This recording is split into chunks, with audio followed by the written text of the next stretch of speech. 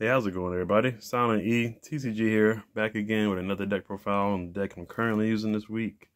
Um, definitely uh, one of my favorite decks outside of the uh, Whitebeard, of course, which is Smoker for the Marines or Navy, whichever one you want to use. Um, definitely going with the Smoker leader. Um, we do have Zephyr, um, Sakazuki, or Akainu and um, Garp, but of course Smoker is a better one of the of the four, definitely in my opinion. Um, we don't have the alternate art, unfortunately, so I'm kind of lacking that. But it's all good. I'll get one when I can. Just haven't been able to acquire one yet. But without further ado, let's get into the deck profile, and then I can tell you all about the matchups and all that.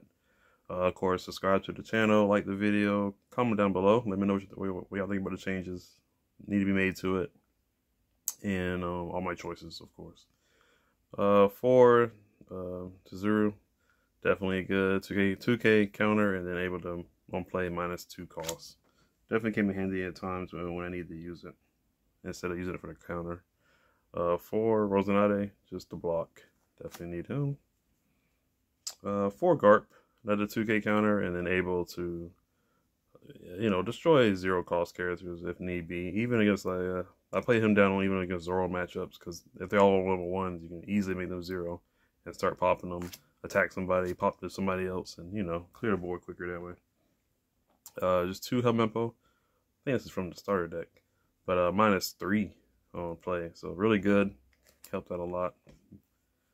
Probably the best card in here. The you know, the guy who saved the Paramount War, who who stopped the battle, stopped the war.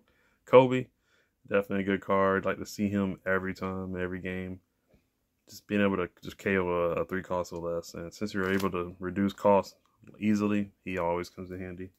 Hefty price to discard a card, but usually it's worth it. Uh, we got three uh, three drop smoker. Can't be KO by effect, so came in good handy. Uh, just having him on the board, you know, he won't die by effects, so battle's the only way. But he becomes 6k on attack if you have the opponent has a zero cost up. Came in good handy if I made him 6 or even 7 just to hit. And if I want to protect them, I probably would. Maybe not. Then we got 4 Tashigi, uh, another 2k counter. And just, uh, much like Bonnie, you can just rest it and give your opponent minus 2 on a cost. So, pretty much they'll be attacking her after that's done, but really good. Next is Kuzan, very important card.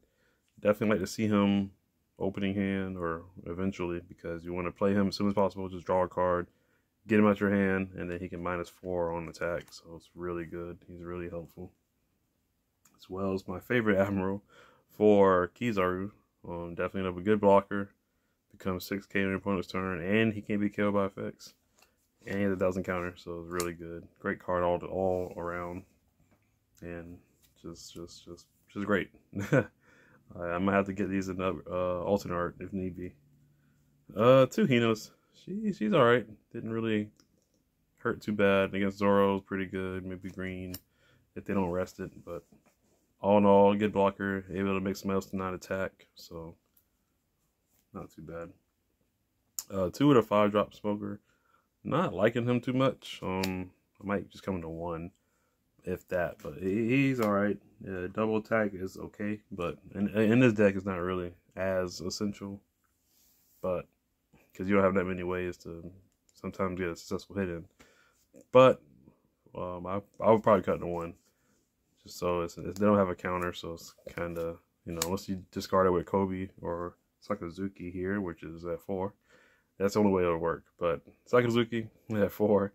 Yeah, definitely four of this because he destroys a five cost or less character. And he's your, he's like one of your strongest ones. So definitely good to have him. And then three to ten drop Kuzan because you need a boss card. And then while he's face up, he minuses five on you know during your turn.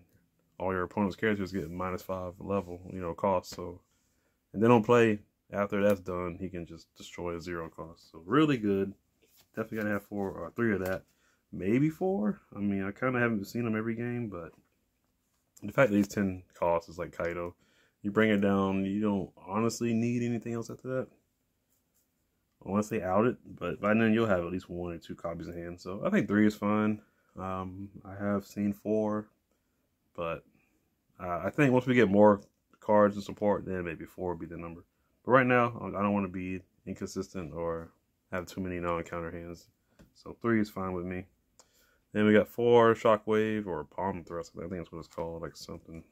But uh, Shockwave, just uh, two uh, two cost, 4K counter, and they can KO at active four or less. So it gets rid of uh, mini boards you're up against, uh, mini bodies a bit. And then two Meteor uh, Volcano. I actually might put this at three because there were times where I, I wish I had ways to destroy a card, and that's just not it.